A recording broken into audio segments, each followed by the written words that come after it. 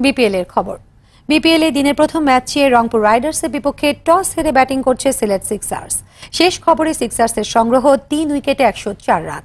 চট্টগ্রামের জোহর আহমেদ চৌধুরী স্টেডিয়ামে নুরুল হাসান সোহান ও আন্দ্রে ফ্লেচারের উদ্বোধনী জুটি থেকে আসে চোদ্দ রান। পাঁচ করে ফিরে যান সোহান।